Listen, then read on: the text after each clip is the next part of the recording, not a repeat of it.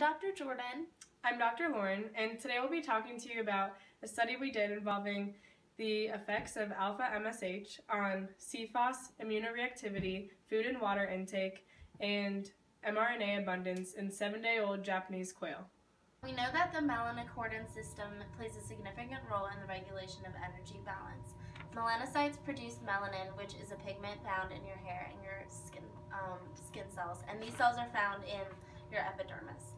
And the arcuate nucleus is a location where POMC regulated transcript neurons and peptide peptide neurons project to other nucleus for receptor expression.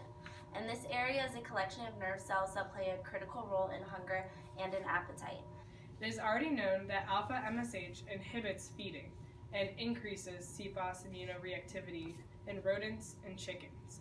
The effects are taking place in the paraventricular nucleus of the hypothalamus. POMC MCR, AGRP, and MRAP are all proteins except for um, MRAP, which is a peptide, that are involved in the melanocortin system. POMC is synthesized in the pituitary and once cleaved or cut, produces peptide hormones, which are packaged and then set down the axon in dense core vesicles. Melanocortin receptors are produced and are, as already discussed, vital in pigmentation, energy, and feeding behavior. Here is a diagram that portrays the POMC gene, which gives rise to various melanocyte receptor proteins. One peptide produced from the POMC protein is called the beta MSH peptide, plays a role in weight regulation by binding to the MC4R, which is right here. This helps with energy balance. The arcuate nucleus contains the POMC and CART neurons. It also contains NPY and AGRP neurons, which have to do with the function of feeding. CART and POMC neurons have to do with satiety, which is also called anorexigenic, and NPY and AGRP neurons are in charge of hunger, which, have, which is another word for orexigenic.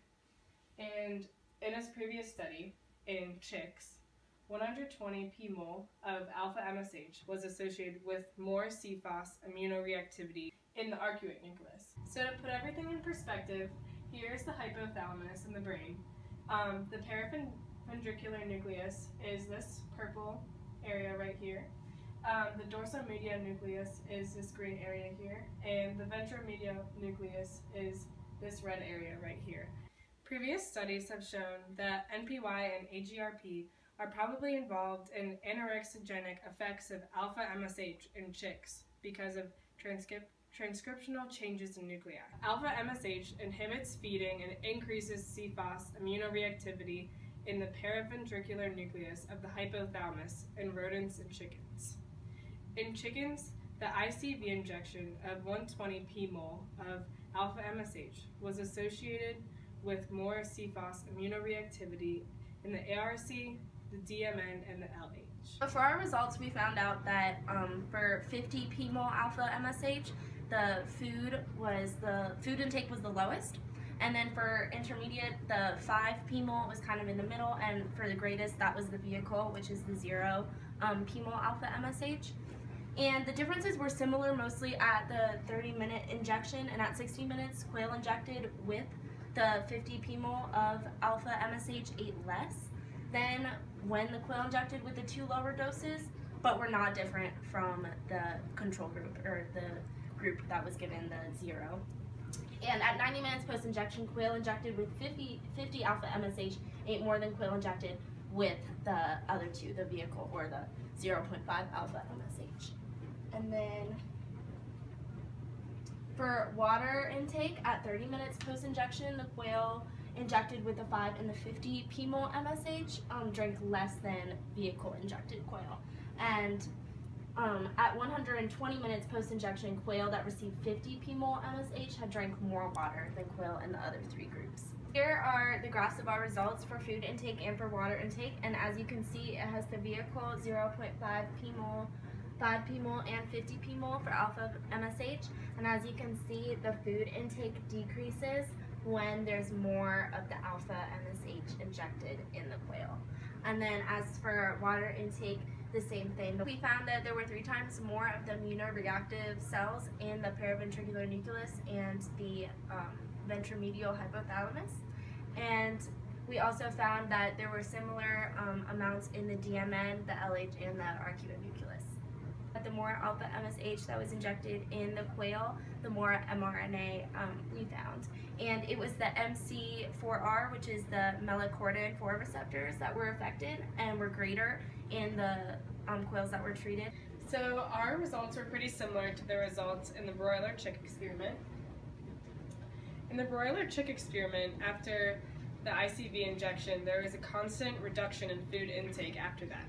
And in the low weight chicks, there was a reduction after 30 minutes. And in the heavyweight chicks, there was a constant reduction the whole entire time. In comparison to other studies, like the layer chick study or the broiler chick study, quail have a lower threshold for alpha MSH reduced food intake effects. And this is because in quail there was more effect at the first interval, which was 30 minutes. And although, from a cumulative perspective, food intake reduces as alpha MSH dosage goes up, but from a non-cumulative perspective, after 30 minutes, anorexigenic effects began to decrease, and the greatest recovery was in the quail with the highest dose. For water intake, alpha MSH was associated with reduced drinking in this experiment. However, though, for um, the experiment with rats and chicks, there was no effect. Alright, so for CFOS immunoreactivity in the hypothalamus, um, we found that there are more reactive cells in two appetite-related nuclei, the PVN and the VMH. And when the broiler chicks experiment was conducted, 120 PMOL alpha MSH injection was associated with increased, increased CFOS immunoreactivity in the arcuate nucleus, DMN, LH, and PVN. And there was greater CFOS mRNN in the PVN and DMN, but not LH or arcuate nucleus at 60 minute post-injection. An activation to the PVN at 60 minutes in response to central injection of alpha MSH appears similar between um, the quail and the broiler chicks despite differences in age and in dose. And it suggests that anorexigenic effects of alpha MSH are mediated via the PVN. In broiler chicks, uh, alpha MSH injection was associated with an increase in AGRP mRNA in the arcuate nucleus and DDC mRNA in the DMN. Um, arcuate nucleus and the DMN's right there. And basically at the nucleus level, these genes so showed an opposite change in mRNA at one hour post ICV injection as compared to quail with the whole hypothalamus level. And also for mammals, hypothalamic nuclei that express large quantities of MC4R also contain dopaminergic nerve terminals. And microinjection of a of alpha MSH into the LH decreased feeding and increased dopamine release from the LH. And anorexigenic effects of alpha MSH are in part mediated through increased dopaminergic signaling. Some of the same genes were affected in the present study, and the broiler chick study suggests there are similar pathways that are involved. And differences in treatment-induced effects or gene on gene expression may be explained by tissue type. And there are also differences in threshold sensitivity that lead to changes in pathways that occur on different time scales. For the broiler study, it did not um, evaluate the mRNA abundance in the VMH, so it's possible that in the present study, the increase in MC4R expression is of VMH origin.